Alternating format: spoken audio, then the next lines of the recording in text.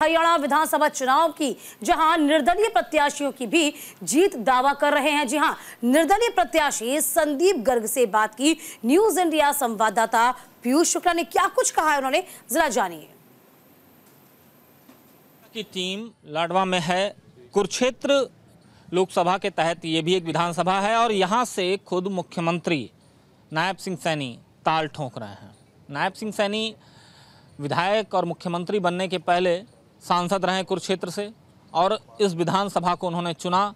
Bharatiya Janata party ने ticket दिया। लेकिन उसके बाद भारतीय जनता पार्टी में तमाम बगावती तेवर भी सामने आए, तमाम नाराज़गी आई और ऐसे में संदीप गर्ग जी हमारे साथ मौजूद हैं। सर, आप भारतीय जनता पार्टी के समर्पित सेवक थे। दिल टूटा है। क्या हुआ सर? सबसे पहले तो मैं सभी आपके व्यूअर्स को नमस्कार करता हूँ। देखिए, पिछले आठ सालों से मैं मेहनत कर रहा हूँ।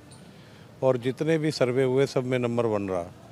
तो मैंने पार्टी में रह के सेवा की लोगों की सेवा की और मुझे पूरा विश्वास दिलाया गया कि आपको टिकट मिलेगी और एन मौके पे टिकट काट दी गई।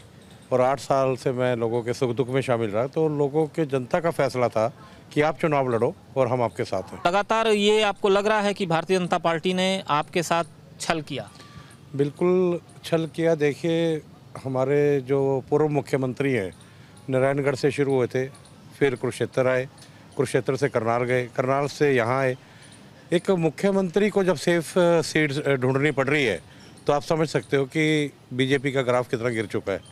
सर लाडवा विधानसभा के लिए आपके प्रमुख मुद्दे क्या होंगे? किन मुद्दों पे काम करना चाहेंगे? यहाँ तो किसानों की मंडी भी है और भारतीय जनता पार्टी का दावा है, सबसे अधिक एमएसपी पूरे देश में हमने ही दी है।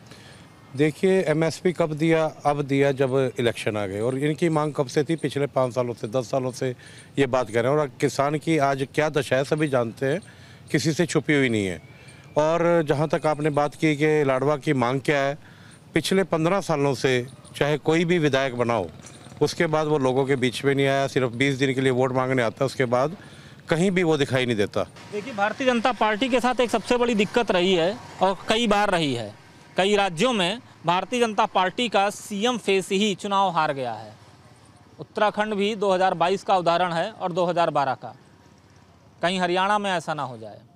हवा क्या है हरियाणा की, ये तो सब देख रहे हैं। लेकिन सवाल ये है, क्या हरियाणा का ताज किसके सर पे सजेगा? न्यूज़ इंडिया के लिए। कैमरा पर्सन आकाश के साथ अजस्र पीयूष शुक्ला, लाडवा।